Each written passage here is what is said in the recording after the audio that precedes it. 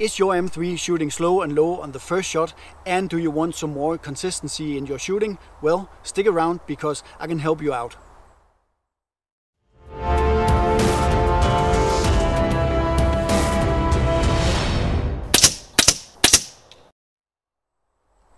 Hi guys and welcome back to my channel. I'm Peter and in today's video I'll show you a new way of tuning the M3. Not too long ago I was made aware of uh, this new way of tuning and ever since I started tuning my gun like this the group size has gone down and my gun has become much more uh, consistent. One of the things that has also uh, been solved is uh, the first shot that I bet many of you know is uh, slow and low, but uh, with this new way of tuning the gun, this problem is completely solved. But before we start this video, I will advise you very, very strongly to go back to my channel and find uh, the video where I'm talking about tuning because there will be a lot of references to, uh, to this video and uh, just to understand this video better, I would strongly advise you to go back and check out that video and understand exactly what I'm talking about. So when you've seen that, come back uh, and uh, continue this video. And now let's pretend that you've done this already and you know exactly how to tune the gun. Uh, let's uh, dive into this uh, new way of tuning. But before we do that, I just want to reminisce maybe because you haven't uh, seen the, the other video, but I just want to reminisce how I usually uh, tuned my M3. Before uh, starting tuning the gun, I would know exactly which uh, which velocity I was going for. So let's say that I was going for um, 970 feet per second. Then I would um, tune the gun so that the maximum uh, velocity of the gun was uh, between uh, 990 feet per second and maybe a thousand. So between 20 and and 30 feet per second faster than you you would actually go. And then when you, you have that uh, velocity, then you turn down the hammer and you would uh, reduce the, the tension on the system and make the, the gun more uh, harmonic. And when you've done that, you would take the front valve and gently uh, turn it in just a, a, tiny fraction at the time. Uh, in that uh, old video, I would say uh, one eighth of a turn until the velocity starts to drop, and then you would turn it out again just to make sure that there would be no extra air released after the slug has left the barrel. So that makes a more stable slug as it's shooting and thereby giving it more accuracy. And in this way of tuning, I have shot some very very nice groups. So it's not because uh, that way of tuning is wrong. It's actually uh, uh, pretty simple. Uh, so that's uh, that's also a, way to, um, to to tune your gun. But uh, today I am um, putting on a another layer involving the the front valve. So let's dive into that way of tuning. Okay so let's dive into the tuning um, the first thing you want to do is uh, to establish uh, what kind of velocity that you're aiming for, exactly like in the other video. Um, because I have uh, shot like this for uh, quite some time, I know that the velocity that I'm going for is around uh, 960. So I have my rig at uh, 111, 112. Um, not that it's uh, too important because uh, setup of guns can be very, very different. And if you're shooting like a 600 millimeter barrel, um, you can't really compare it because I'm shooting the 700. But um, go back uh, two weeks and uh, watch my uh, my uh, latest video and I'll give you a, a much more detailed description about uh, that issue. But anyway I have the, the regulator at uh, 112 and I have released the, the front valve so that it is at two three just past the line number four um, the tension on the on the hammer is uh, about uh, 2.5, but I have a heavier hammer uh, than um, than the standard one. I have a 7.5 gram hammer from Huma, so um, yeah, that's not really comparable. if if you want to to duplicate my settings, which I strongly advise you against, but it's just the theory of of how to do it. But anyway, I've released the front valve um, and now I want to uh, to see how fast uh, the gun is shooting um, uh, with this setup.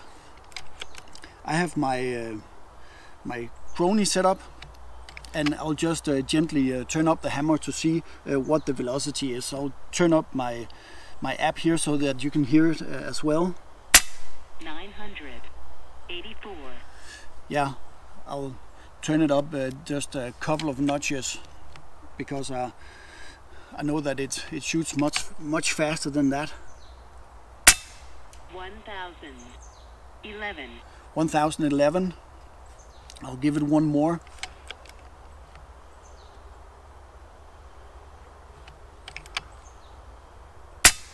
One thousand eleven. 1011 so that must be uh, around the the max velocity of the gun. So what I'll be doing right now uh, is I will lower uh, the tension on the hammer spring. So I'll go close to uh, let's say uh, uh, 980 uh, feet per second. So remembering that I'm aiming for a velocity of a 960 but I'm only turning uh, the tension of the hammer down so that uh, I'm, I'm uh, getting a velocity around 980 so I'm turning it down a few notches. Let's see where the the velocity is at now. 990. 90 that's just a little too high. I'll take it down one click.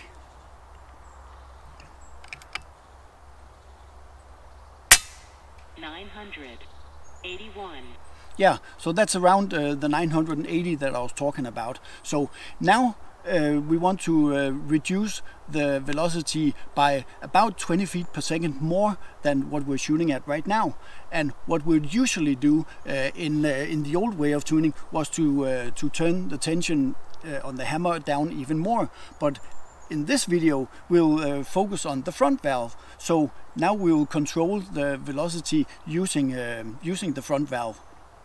Um, so now I'll just um, turn it down two eighths of a turn. Um, if you have uh, a full rotation and that's uh, uh, divided into eight, uh, I'm uh, I'm turning it uh, two eighths uh, right now. So let's see if uh, that has done uh, something to the velocity. Nine hundred seventy-seven. So not not much actually. So I'll give it an eighth of a turn. I'm pretty aggressive in uh, in turning the the front valve right now, but uh, that's going to change very much, I assure you. Nine hundred seventy. Okay, so now we're uh, getting closer to uh, the one, uh, the 960. So instead of uh, turning it uh, an eighth of a turn, I'm turning it like uh, half of that now. So that's very, very small um, turns that I'm doing on uh, on the front valve right now.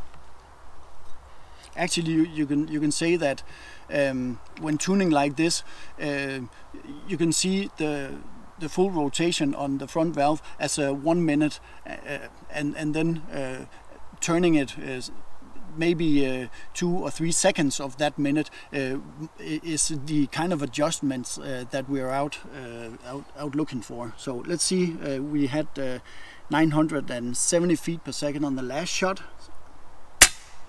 Nine hundred sixty. and that's 960. Let's take a, a few more to see uh, if it's if it's fully settled. Nine hundred sixty-seven. Nah, maybe not. I'll just take a few more. It can take a few shots uh, for uh, for the um, the hammer to settle in when you're using uh, the front valve. Nine hundred sixty-three. Okay.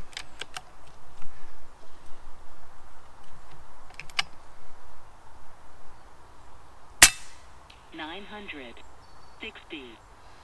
Okay. So uh, actually, uh, I wouldn't touch it too much here. It, it does have uh, some kind of um, of spread here, but um, when you are um, when you've uh, shot a, a couple of shots, you see that this spread is going down. Um, shooting like this, um, you can get um, a very very decent spread. Um, and I mean down to uh, say between uh, three and four, but sometimes it will it, it, it, might be seven as it is right now. But um, I mean going uh, having a, a, spread between um, say two and seven, that's like a spread that is uh, acceptable. So let's see uh, where it's at now. Maybe just load the gun usually helps.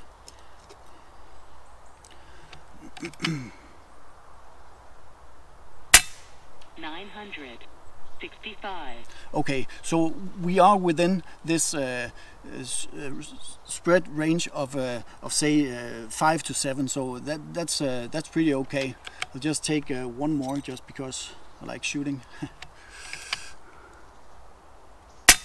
963. Okay, so you can see that it's actually settling in at around these 963. So that's basically uh, how to tune it and what this does is it makes um, the gun much much more harmonic and you won't uh, risk that uh, the the hammer is uh, is hitting too hard and getting this uh, this this bounce um, when it hits. So you, you do get a much more harmonic gun and when you get a much more harmonic gun you'll get a more accurate gun. But yeah let's see how accurate it uh, really is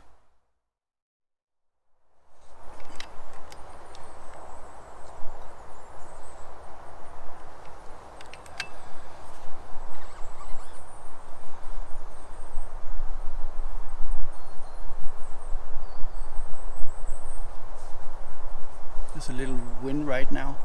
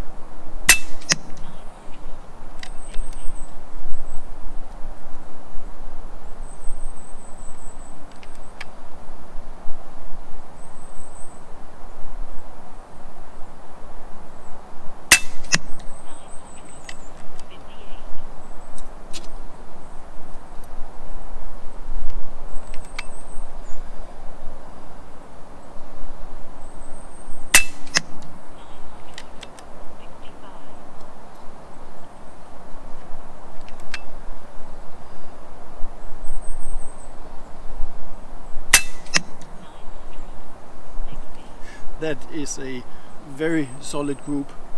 Um, let's go and measure it up.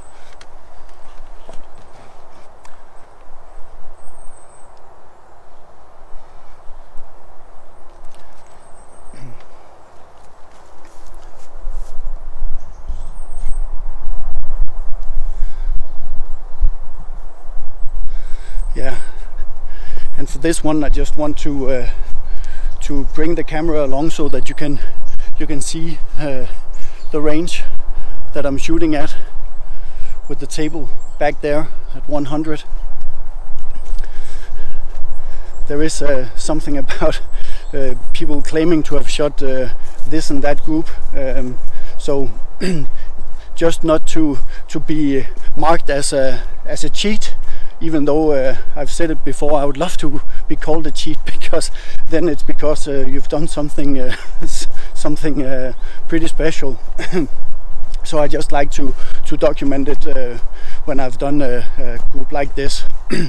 but anyway, talking about uh, this way of tuning.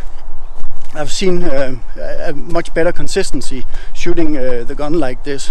When I was uh, tuning the the old way, uh, every time I went uh, to shoot here at 100, I, I made groups uh, that were less than 2.5 centimeters. But now I see that every time I go I go shooting, I well most of the times I'm I'm doing groups not every time of course but sometimes uh, uh, some of the groups are like uh, 1.3 and and and yeah maybe up to, to two centimeters. Of course I'm, I'm uh, shooting bigger groups as well but it's just um, it's more consistent and I'm more consistent in, in getting the um, the, the better groups when I'm tuning like this. But anyway, um, here I am at, uh, at the target and you can see uh, my, my hand here. so that uh, yeah you you have no doubts. But anyway, this is the group. Let me just uh, film it here. Yeah, and um, I'm trying to measure it up here with uh, with one hand, and it is a let's see that's a uh, one let's see 1.4 centimeter group at uh, at 100 I think that's uh, that's very respectable. So yeah for for that the, this new way of tuning is uh, is definitely one that I'll uh, I'll stick to. But uh, yeah let's get back to some kind of a conclusion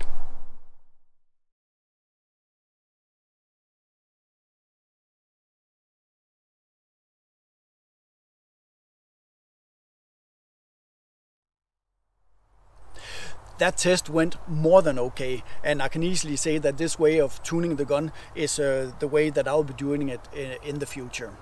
And talking about this way of tuning of course this is not a, a way that i have come up with. And it might be known to some of you uh, many of you uh, might have done it for, for ages. But uh, anyway it's new to me and i thought that it would be new to a lot of people.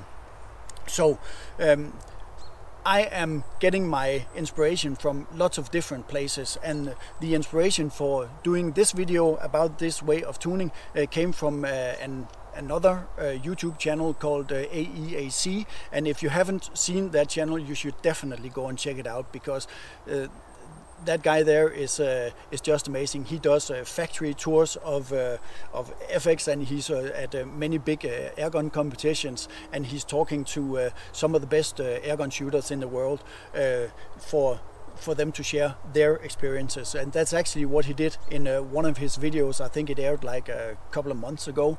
And he was talking to yeah many of the top shooters at uh, I believe it was RMAC actually, uh, where they um, were talking about uh, how they were tuning their guns. But let's talk about. Um, this way of tuning because you saw that um, my maximum velocity was just around uh, uh, 1010 and then I turned it uh, down uh, 30 feet per second to uh, 900 and uh, and 80 uh, feet per second and from there I tuned it down almost uh, 20 feet so uh, 20 feet per second. So I'm actually shooting uh, about 50 feet per second uh, slower than what uh, the, the gun is at when it's at its maxi maximum capacity with this regulator setting. So I'm not saying that this uh, particular way uh, of doing it, going uh, first uh, 30 feet down and then uh, turning it down uh, with the front valve the next 20, I'm not saying that this is the way, the perfect way to do it, but it's just a way that I have had some good experiences. But it's all up to you now to see what kind of settings that you would like to use, because it might be better to to have the gun at say 995 uh, and then uh, turning the uh, the hammer down so that you you'd hit 975 and then turning it down just by maybe a little over 10 feet per second using the front valve. I know that um, there are some that uh, only turn it down by, by 10 feet using the front valve, and there are others that turn it down maybe 50 uh, feet per second. So it's the combination of these values that you have to figure out yourself to see uh, where your gun uh, performs the best. Because, as I said, this might not be uh, the best way uh, to, um, to to tune the gun like I just showed you. But uh, I've just uh, realized that this is the way that uh, I'm able to get those groups that I just showed you. So actually, there's quite a bit of homework for, for for you to do, and I know that some of the reasons for me uh, shooting an impact is because there are so many ways of testing and so many tests to do and this is just one of them.